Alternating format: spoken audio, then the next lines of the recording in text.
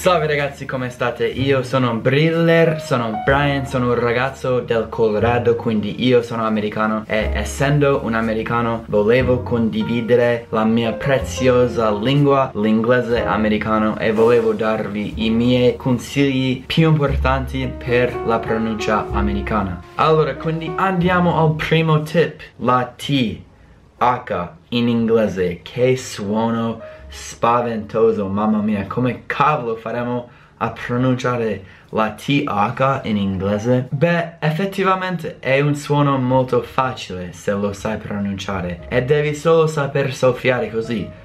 E poi metti la lingua tra i denti, così.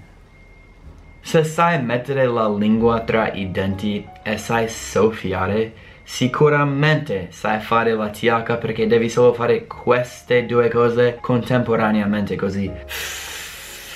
Ragazzi in inglese la parola con si dice with, with with, with, with, with, with, with, with. La parola il in inglese si dice the. Questa volta c'è vibrazione nella gola, quindi the. Allora, un altro suono pauroso, la R inglese, ovvero la R. Questa lettera R in inglese è diverso nell'America rispetto al UK perché lì lo dicono così tipo la parola acqua direbbero water ed è molto facile invece in americano abbiamo water che secondo me è una pronuncia più bella pure però dobbiamo imparare allora la lettera R. Per fare questo suono bisogna piegare la lingua così. Se ho la bocca così, la mia lingua sarà così.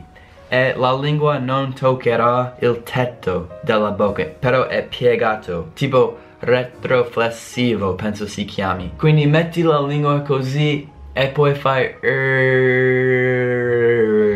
Dipende tutto dalla forma della lingua tipo la parola there ho fatto sia la th con vibrazione più la r quindi tipo lì there quindi cioè adesso potete dire perfettamente la parola there in inglese allora adesso dovremmo parlare un po' delle vocali sempre spaventose in inglese per esempio c'è una differenza nella parola lenzuola e merda in inglese ovvero sheet e shit. In italiano non avete E, questa vocale simile a I. L'unica differenza è che la E americana è più bassa, la lingua è più bassa, la lingua è anche meno tesa, tipo prova a rilassare la lingua così che non è duro e tesa e abbassala un po' e uscirà la E. Un'altra differenza sottile tra due vocali in inglese è la differenza tra e E.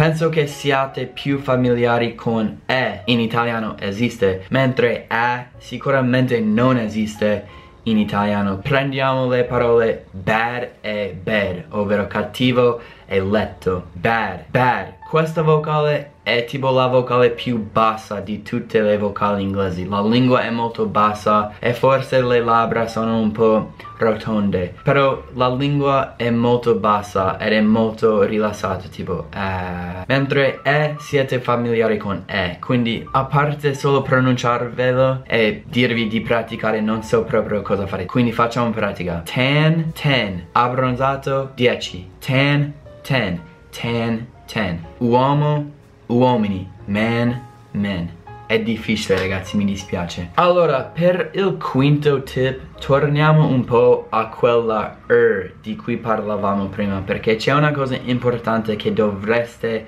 sapere. Allora, quando vedete la er in inglese e se c'è una vocale prima, spesso quella vocale è come se non ci fosse. Ad esempio, nella parola parola in inglese word. Io vado direttamente dalla W alla R, anche se si scrive W-O-R-D, è come se la O non ci fosse. Anche la parola girare in inglese, turn. C'è la U, però non direi tipo turn. Direi direi solo turn o tipo uccello, bird. C'è una I in quella parola, bird. Ovviamente non si sente una I. Spesso in inglese quando c'è la R dopo una vocale, la vocale prima è come se non ci fosse. Bird. Allora, sesto torniamo, mi dispiace, alle vocali. La vocale più comune in tutto inglese è lo schwa. Lo chiamano la vocale pigra perché sinceramente la lingua non fa niente. Questo è il suono dello schwa.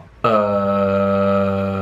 tipo come se stessi facendo tipo uh, fammi pensare tipo uh, prendiamo la parola Elizabeth ad esempio la, il nome Elizabeth ha solo una vocale che non è lo schwa anche se non è scritto così a schwa le, la vocale E di cui avevamo parlato, z, schwa, buth, schwa. Buth. Tantissime parole sono così, anche se sono scritte con tipo E, A, O, U. Cioè non importa perché siamo pigri in inglese e diciamo solo la vocale del sillabe che ha lo stress. Quindi nella parola Elizabeth, Liz ha lo stress. Tutti gli altri sillabi non devono avere la vocale vera, possono essere la vocale pigra, lo schwa, Elizabeth cose così. Allora, per finire, vi do un consiglio molto utile specificamente per voi italiani. So che quando c'è uno stop, tipo un plosivo,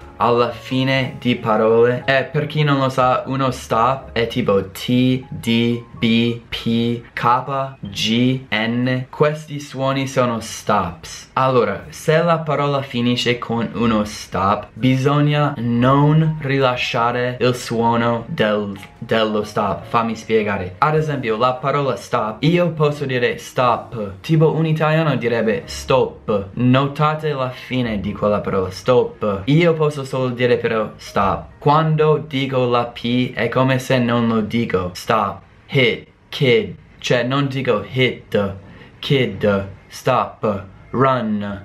Dico solo hit, kid, stop, run. Non rilasciate lo stop.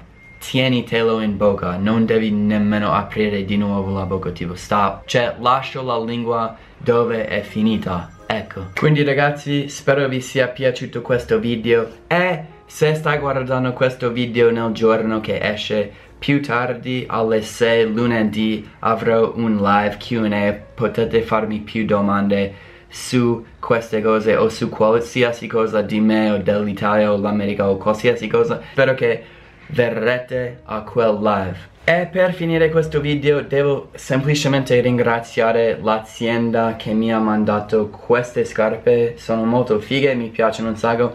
Grazie a mille per avermele mandate, sono comode, penso siano belle. Quindi se volete trovare anche tu queste scarpe fighe lascerò il link sotto nella descrizione. Sono molto fighe. Grazie a loro per avermele mandate. Ragazzi spero vi sia piaciuto il video. Ci vedremo alla prossima. Peace